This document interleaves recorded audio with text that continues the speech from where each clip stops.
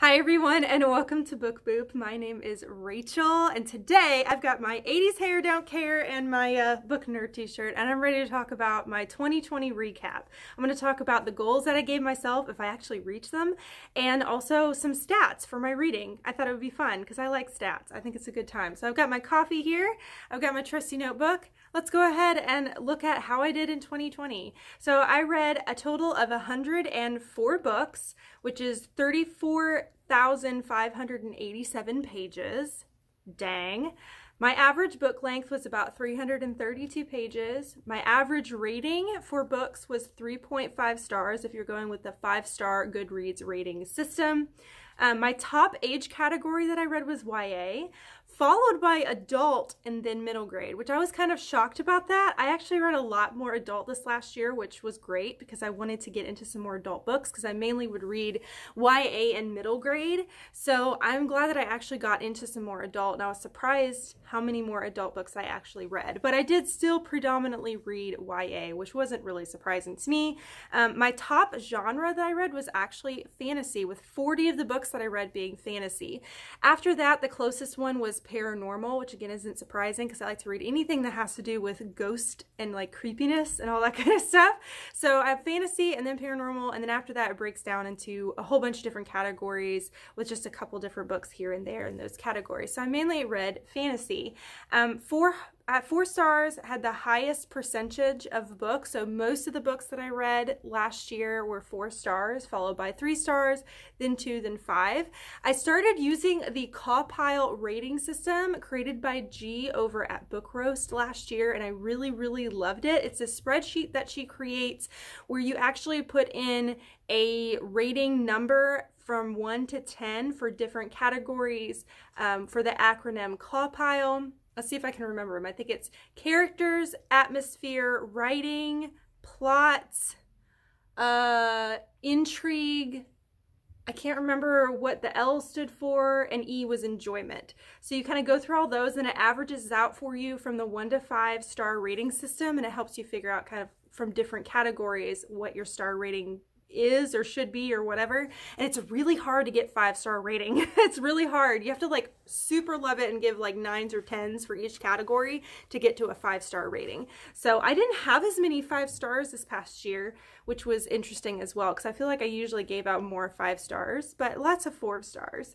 Um, for my goal recap, I wanted to do monthly TBRs, which I did. This was the first time that I did monthly TBRs where I just read whatever I wanted. I didn't have a specific theme like I did in 2019, which I enjoyed way more. I loved getting to pick just a range of different types of books each month. It was way more fun for me, but I really enjoy setting TBRs for myself because I work really, really well with setting goals. I'm a list person. I love checking things off a list. It makes me happy.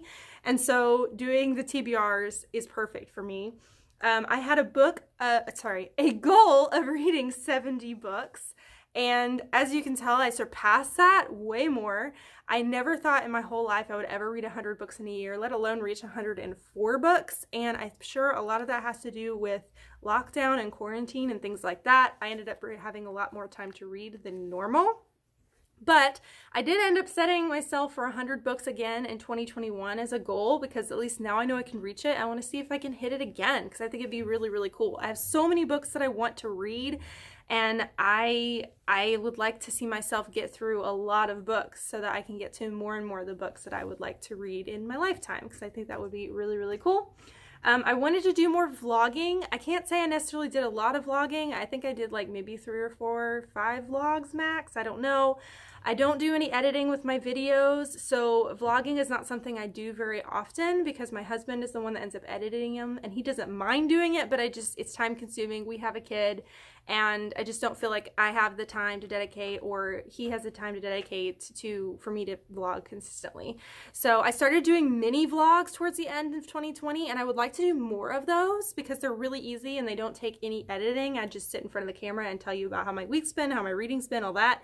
But again, it's just finding the time to do it, finding the time to sit down, take the time um, to do that. So I would like to do more mini vlogs and more vlogging this year, but I at least did some vlogs in 2020, just not to the extent I would have liked to.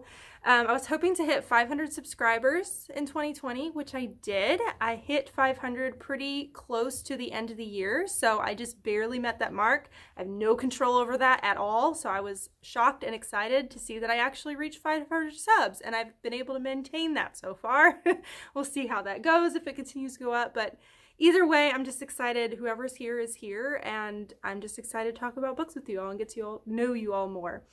Uh, I was hoping to do some readathons for the first time, which I participated in three readathons. I participated in the Owls readathon, the Newts readathon, which were both created by G at Book Roast. She doesn't do those readathons anymore. That was the last time she was going to do it, so I was able, glad I was able to jump in and do that before those were going to come to the to an end. I also did a journey through, I think it was Adventure or Journey Through Wonderland, which was a middle grade um, readathon, and that one was really, really fun, and I had a blast doing that too.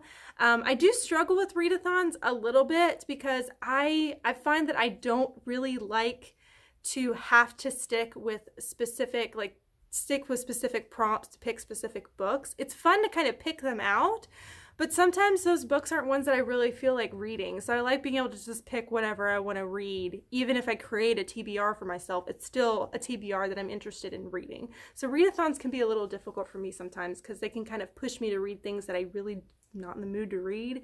So I can't say I love doing readathons, but I'm glad I did some of them because I'd never done any before. So it was a really cool experience.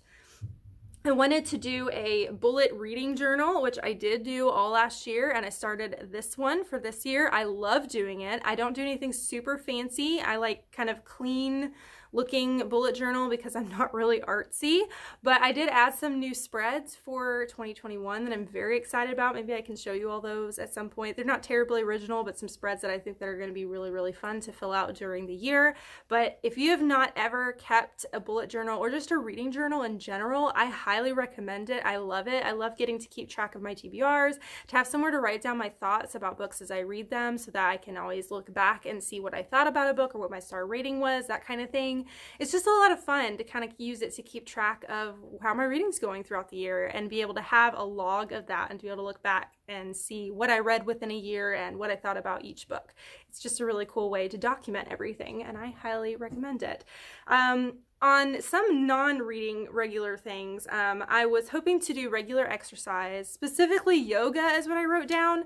I only did yoga for the first like two or three months of the year, and then I ended up moving back to a different type of workout that I usually do. is like these walk it walk at home workout things um, that I really enjoy. And now I've been working out with my husband. My husband's into weight training and those kind of things because I wasn't seeing the bodily change that I wanted to see. So I started working out with my husband and I've been doing that ever since and it's really challenging me. I'm starting to do HIIT cardio, which is challenging and I hate it so much, but I'm doing it. I'm actually trying to see if I can lose a little bit of weight this year because I've gained a little bit and I would like to lose some and get a little bit more fit.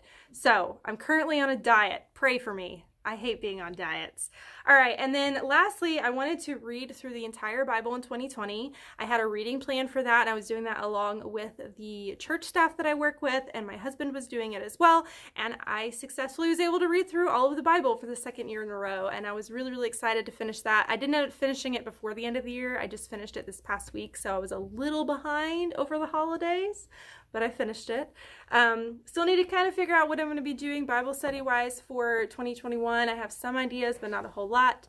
But I pretty much hit all of my goals that I had for 2020. None of them were crazy or lofty or terribly interesting goals, but I'm excited to see that I surpassed my reading goal. Um, I was able to hit my sub goal by some miracle.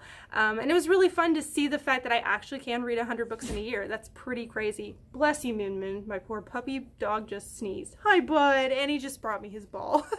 he wants me to play with him really bad. Okay, so those are all my stats. That's my goal recap. I don't know if this was interesting to you. I hope it was. I find this stuff kind of interesting. Let me know down below how many books you reached, how many books you read in 2020, and what your original goal was if you had one. Like, did you surpass your goal? Did you find yourself reading more in 2020 or less? Some people, they had trouble reading more in 2020 because they just felt really, really stressed, which totally understandable. Pretty much everybody has been really stressed, and some people, they're not able to read in those situations. So some people read less. So I'm curious to know if you feel like you read more or less. Did you hit your goal?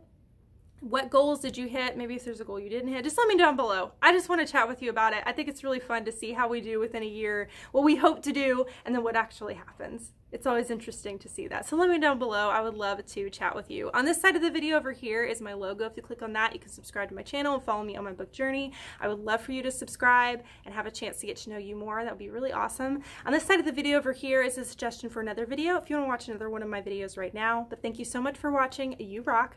And don't forget to keep reading. Bye!